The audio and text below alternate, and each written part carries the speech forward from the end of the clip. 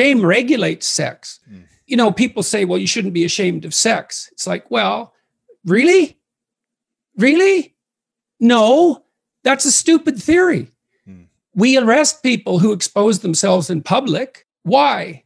Well, because we don't want people masturbating in public. We assume they should be ashamed enough not to do that. Mm. So we're embarrassed about our desires.